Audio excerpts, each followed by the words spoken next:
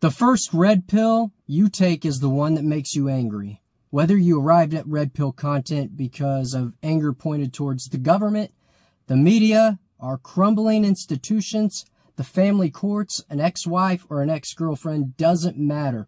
What you realize is you have been lied to. Everyone's familiar with the yin yang. Yin is a symbol for earth, darkness, passivity, absorption, femaleness, while yang is conceived of heaven, light, activity, penetration, maleness. So you have the masculine and feminine imperatives. These two are not equal, but of an but they're of equal importance. Today, our Western society has become very female centric, very feminine in the directions they are heading. And we have been told move in this direction will make our world safer, more equal, overall better. What do you see? Has our world, in particular the West, become safer, more equal, fairer, or better? The gynocentric social order has made the world more chaotic, family life more chaotic, school more chaotic, business more chaotic, the government more chaotic. Almost everything is more chaotic. In response, you have the red pill community, the manosphere, different conservative type movements, and many other movements that have come about.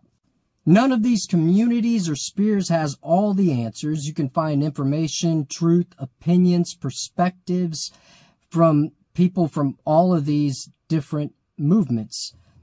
My opinion is it's most important not to become a slave or zealot to anyone and to always be able to think for yourself. And what's most important is what you do with that information.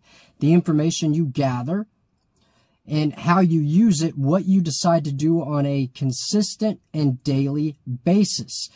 It's going to take a lot to combat the chaos that's been brought about and bring order and balance back. That's why I do this. The only order that can combat a female chaos is a masculine.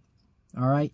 And what's most important with any channel or movement is consistency. So right now I'm going to pledge to be more consistent as far as putting out content on that channel, on this channel.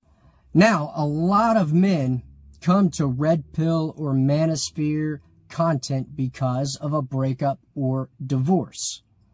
I would say the majority, that's kind of how it starts. Then they go down the rabbit hole.